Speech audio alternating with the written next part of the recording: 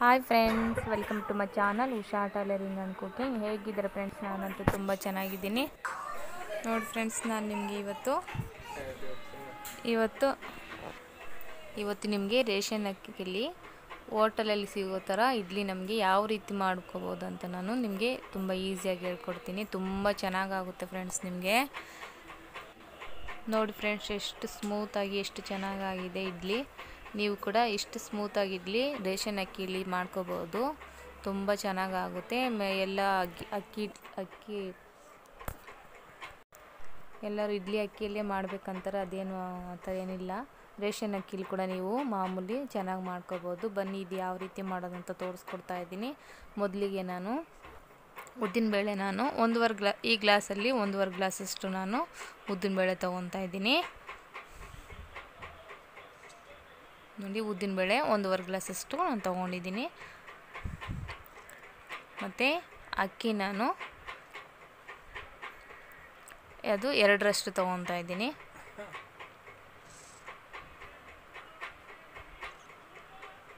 ನಾನು ಒಂದು ಐದು ಗ್ಲಾಸಷ್ಟು ನಾನು ಅಕ್ಕಿ ತೊಗೊಂಡಿದ್ದೀನಿ ಇದರಲ್ಲಿ.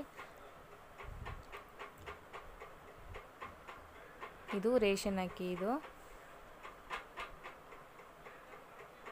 ನೋಡಿ, ಐದು ಗ್ಲಾಸಷ್ಟು ನಾನು ತೊಗೊಂಡು ನಾನು ನೆನೆಸಿ ಇಡ್ತಾ ಇದ್ದೀನಿ. ಇದಕ್ಕೆ ಉದ್ದಿನಬೇಳೆಗೆ ಒಂದು ಟೀ ಸ್ಪೂನಷ್ಟು ನಾನು ಮೆಂತ್ಯನೂ ಹಾಕ್ತಾಯಿದ್ದೀನಿ ಇದು ಒಂದು ಎಂಟು ಗಂಟೆ ಕಾಲ ನೆನೆಸ್ಬೇಕು. ನೋಡಿ, ನೆನೆಸಿದ್ದೀನಿ ಇವಾಗ. ಮತ್ತು ಅವಲಕ್ಕಿ, ಒಂದು ಕಾಲು ಕೆ ಜಿಯಷ್ಟು ಅವಲಕ್ಕಿ ತೊಗೊಂಡಿದ್ದೀನಿ. ಅದನ್ನು ಕೂಡ ನಾನು ತೊಳೆದು ಅರ್ಧ ಗಂಟೆ ಮುಂಚೆ ನಾನು ನೆನೆಸಿದ್ದೆ. ಇವಾಗ ಈ ಮೂರನ್ನು ನಾನು ರುಬ್ಕೊಂಡ್ಬಿಡ್ತೀನಿ. ನೋಡಿ, ಅವಲಕ್ಕಿ ಉದ್ದಿನಬೇಳೆ ಮೆಂತ್ಯ ಮತ್ತು ಅಕ್ಕಿನ. ನಾನು ರುಬ್ಕೊತೀನಿ. ನೋಡಿ ಫ್ರೆಂಡ್ಸ್, ಇವಾಗ ನಾನು ಅದನ್ನು ರುಬ್ಬಿದ್ದೀನಿ. ಇವಾಗ ನೈಟೆಲ್ಲ ಹಂಗೆ ಚೆನ್ನಾಗಿ ಇದಾಗಲಿ ನೈಟೆಲ್ಲ ಹಂಗೆ ಇಟ್ಕೊಡೋಣ ಅದನ್ನು. ನೋಡಿ ಎಷ್ಟು ರುಬ್ಬಿಟ್ಟಿದ್ದೀನಿ.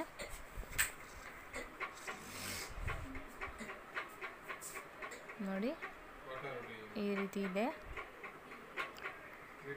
ನೈಟೆಲ್ಲ ಪ್ಲೇಟ್ ಮುಚ್ಚಿಟ್ಬಿಡೋಣ.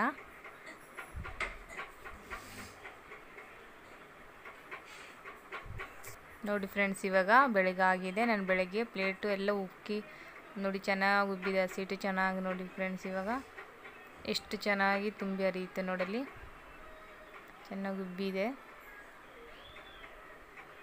ನೋಡಿ ಹಸಿಟ್ಟು ಎಷ್ಟು ಚೆನ್ನಾಗಿ ಇದಾಗಿದೆ.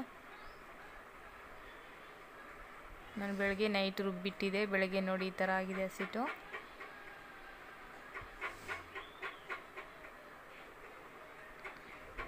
ಇವಾಗ ಪಾತ್ರೆಗೆ ಸ್ವಲ್ಪ ತೆಗೆದಿಟ್ಬಿಟ್ಟು ಚೆನ್ನಾಗಿ ಕಲಿಸ್ತೀನಿ.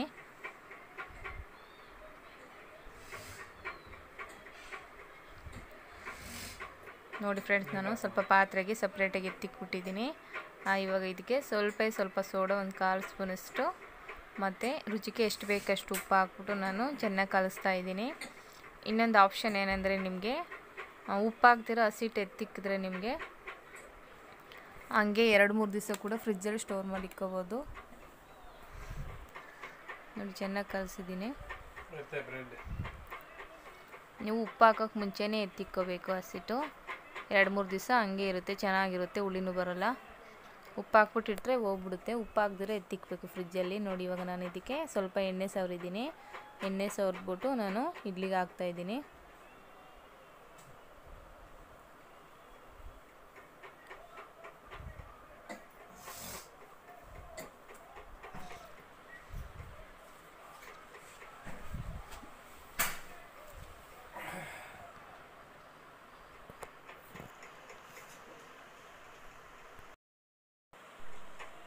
ಇವಾಗ ನಾನು ರಸಮ್ಗೆ ಹೆಸರುಬೇಳೆ ರಸಮ್ಗೆ ರೆಡಿ ಮಾಡ್ಕೊಂಬಿಡ್ತೀನಿ, ಇಡ್ಲಿಗೆ ಇಟ್ಟಿದ್ದೀನಿ. ಹೆಸರುಬೇಳೆ ರಸಮ್ಗೆ ಏನೇನು ಬೇಕಂತ ತೋ, ನೋಡ್ಕೊಳ್ಳಿ. ನಾನು ಒಂದು ಐದು ಟೊಮೆಟೊ ತೊಗೊಂಡಿದ್ದೀನಿ, ಒಂದು ಮೂರು ಈರುಳ್ಳಿ ತೊಗೊಂಡಿದ್ದೀನಿ, ಮತ್ತು ಸ್ವಲ್ಪ ಕರಿಬೇವು, ಸ್ವಲ್ಪ ಅರಿಶಿನ ಮತ್ತು ಒಂದು ಮೂರು ಹಸಿಮೆಣ್ಸಿನ್ಕಾಯಿ, ಮತ್ತು ಬೆಳ್ಳುಳ್ಳಿ.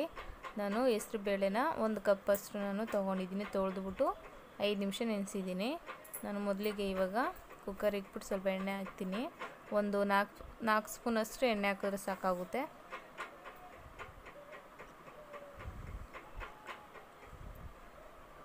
ಇಡ್ಲಿ ಜೊತೆಗೆ ತುಂಬ ಚೆನ್ನಾಗಿರುತ್ತೆ ಇದು ಡಾಲು ಹೆಸರು ಪಲ್ಯ ಡಾಲ್ ಅಂತಲೂ ಹೇಳ್ಬೋದು.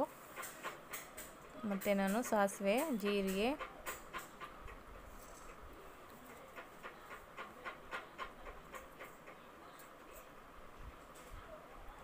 ಮತ್ತು ಸ್ವಲ್ಪ ಜೀರಿಗೆ ಹಾಕ್ಬಿಟ್ಟು ನಾನು ಕಟ್ ಮಾಡಿರೋಂಥದ್ದು ಈರುಳ್ಳಿ ಮತ್ತು ಕರಿಬೇವು, ಹಸಿಮೆಣ್ಸಿನ್ಕಾಯಿ, ಬೆಳ್ಳುಳ್ಳಿ ಎಲ್ಲ ಹಾಕ್ಬಿಟ್ಟು ಚೆನ್ನಾಗಿ ಫ್ರೈ ಮಾಡ್ತೀನಿ. ಆಮೇಲೆ ಸ್ವಲ್ಪ ಅರಿಶಿನ ಇಟ್ಟಿಟ್ಟಿದ್ವಲ್ಲ ನಾವು, ಒಂದು ಕಾಲು ಸ್ಪೂನಷ್ಟು ನಾವು ಅರಿಶಿನ ಇಟ್ಟಿದ್ವಿ. ಅದು ಕೂಡ ನಾವು ಇದಕ್ಕೆ ಹಾಕ್ಕೊಳ್ಳೋಣ. ಸ್ವಲ್ಪ ಈರುಳ್ಳಿ ಚೆನ್ನಾಗಿ ಫ್ರೈ ಆಗಲಿ. ಈರುಳ್ಳಿ ಸ್ವಲ್ಪ ಫ್ರೈ ಆದಮೇಲೆ ಆಮೇಲೆ ಅರಿಶಿನ ಹಾಕ್ಕೊಳ್ಳೋಣ. ಇದ್ರ ರೋಟಿ ಜೊತೆಗೂ ತುಂಬ ಚೆನ್ನಾಗಿರುತ್ತೆ ಫ್ರೆಂಡ್ಸ್ ಇದು ಸ್ವಲ್ಪ ಗಟ್ಟಿಯಾಗಿ ಮಾಡ್ಕೊಳ್ಳಿ. ನಾವು ಹೋಟೆಲಲ್ಲಿ ಸಿಗುತ್ತಲ್ಲ, ಅದೇ ರೀತಿ ಇರುತ್ತೆ.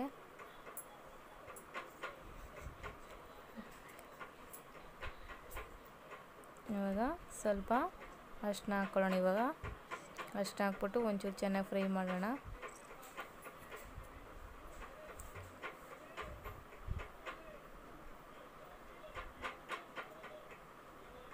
ತುಂಬ ಈಸಿ, ಮತ್ತು ಬೇಗ ಕೂಡ ಆಗುತ್ತೆ. ಮತ್ತು ಒಂದು ಟೊಮೆಟೊ ಮಾತ್ರ ಒಂದು ಐದು ತೊಗೊಂಡಿದ್ದೀನಿ. ಟೊಮೊಟೊ ಜಾಸ್ತಿ ಹಾಕಿದ್ರೇ ಟೇಸ್ಟಿಯಾಗಿರುತ್ತೆ ಕೆಲವರು ಟೊಮೊಟೊ ಕಮ್ಮಿ ತಿನ್ನೋರಾಗಿದೆ, ಸ್ವಲ್ಪ ಹುಣಸೆಹಣ್ಣು ಹಾಕೋಬೋದು ಟೊಮೆಟೊ ಸ್ವಲ್ಪ ಕಮ್ಮಿ ಹಾಕೋಬೋದು ನಾನು ಬರೀ ಟೊಮೆಟೊ ಮಾತ್ರ ತೊಗೊಂಡಿದ್ದೀನಿ. ಐದು ತ, ಐದು ತೊಗೊಂಡಿದ್ದೀನಿ ಟೊಮೆಟೊ, ಕಟ್ ಮಾಡಿರುವಂಥದ್ದು ಸಣ್ಣಕ್ಕೆ. ಇದು ಸ್ವಲ್ಪ ಎಣ್ಣೆಯಲ್ಲೇ ಬೇಯಿಸೋಣ, ಸ್ವಲ್ಪ ಬೇಯಲಿ.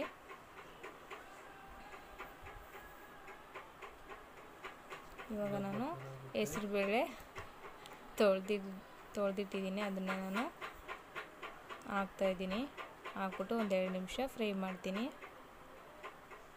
ಟೊಮೊಟೊ ಚೆನ್ನಾಗಿ ಫ್ರೈ, ಎಲ್ಲ ಟೊಮೊಟೊ ಎಣ್ಣೆಲೆ ಬೆಂದಿತ್ತು. ಇವಾಗ ಅದಕ್ಕೆ ಹೆಸರುಬೇಳೆ ಒಂದು ಕಪ್ ಹಾಕಿ ಚೆನ್ನಾಗಿ ಫ್ರೈ ಮಾಡ್ತಾಯಿದ್ದೀನಿ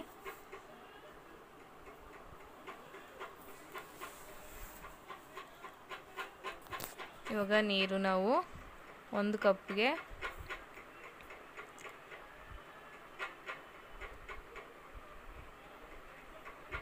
ನಾಲ್ಕು ಕಪ್ಪಷ್ಟು ನಾನು ನೀರು ಹಾಕ್ತಾಯಿದ್ದೀನಿ ನೀವು ನೋಡ್ಕೊಂಡು ಹಾಕೊಳ್ಳಿ. ನಿಮ್ಗೆ ಗಟ್ಟಿ ಬೇಕಂದರೆ ಮೂರು ಕಪ್ ಅಷ್ಟು ಸಾಕಾಗುತ್ತೆ. ನಾನು ಅದರಲ್ಲಿ ನಾಲ್ಕು ಕಪ್ ನೀರು ಹಾಕಿದ್ದೀನಿ. ಒಂದು ಕಪ್ಪಿಗೆ ನಾಲ್ಕು ಕಪ್ಪಷ್ಟು ನೀರು ಹಾಕಿದ್ದೀನಿ.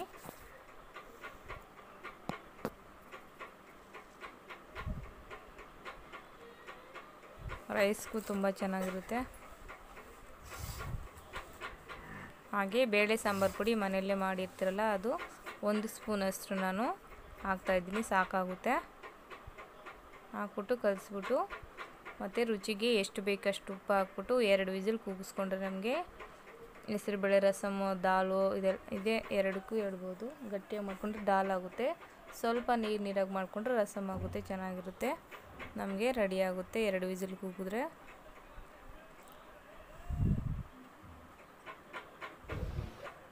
ನೋಡಿ ಫ್ರೆಂಡ್ಸ್, ಇವಾಗ ಎರಡು ವಿಸಿಲ್ ಕೂಗಿದೆ. ನೋಡಿ ಈ ಕ ಈ ಥರ ಗಟ್ಟಿಯಾಗಿ ಬಂದಿದೆ ನೋಡಿ. ಇಡ್ಲಿ ಜೊತೆಗೆ ತುಂಬ ಚೆನ್ನಾಗಿರುತ್ತೆ ನೋಡಿ. ನಮಗೆ ಹೆಸರು ಬೇಳೆದು ಕೂಡ ದಾಲ್ ರೆಡಿ ಆಗುತ್ತೆ. ನೋಡಿ ಫ್ರೆಂಡ್ಸ್, ಇವಾಗ ಇಡ್ಲಿ ಆಗಿದೆ. ನಾನು ತೆಗ್ದು ಸೈಡ್ಗೆ ಇಟ್ಟಿದ್ದೀನಿ ನೋಡಿ. ನೋಡಿ ಇಷ್ಟು ಚೆನ್ನಾಗಾಗಿದೆ ಇಡ್ಲಿ. ನೀವು ಕೂಡ ಮನೇಲಿ ಟ್ರೈ ಮಾಡಿ ಫ್ರೆಂಡ್ಸ್, ರೇಷನ್ ಅಕ್ಕಿ ತುಂಬ ಚೆನ್ನಾಗಿ ಮಾಡ್ಕೊಂಡು ತಿನ್ಬೋದು ನೀವು. ನಿಮಗೆ ಈ ವಿಡಿಯೋ ಇಷ್ಟ ಆಗಿದ್ರೆ ನಮ್ಮ ಲೈಕ್ ಬಟನ್ ಒತ್ತಿ ಸಬ್ಸ್ಕ್ರೈಬ್ ಮಾಡಿ. ಏನಾದರೂ ಇದ್ದರೆ ಕಮೆಂಟ್ ಮೂಲಕ ತಿಳಿಸ್ಕೊಡಿ ಫ್ರೆಂಡ್ಸ್ ನಿಮಗೆ ಈ ವಿಡಿಯೋ ಇಷ್ಟ ಆಗಿದೆ ಅಂದ್ಕೊಂಡಿದ್ದೀನಿ ನಿಮ್ಮ ಅಭಿಪ್ರಾಯವನ್ನು ಕಮೆಂಟ್ ಮೂಲಕ ತಿಳಿಸ್ಕೊಡಿ. ಓಕೆ ಫ್ರೆಂಡ್ಸ್ ನೆಕ್ಸ್ಟ್ ವೀಡಿಯೋದಲ್ಲಿ ಸಿಗ್ತೀನಿ. Bye friends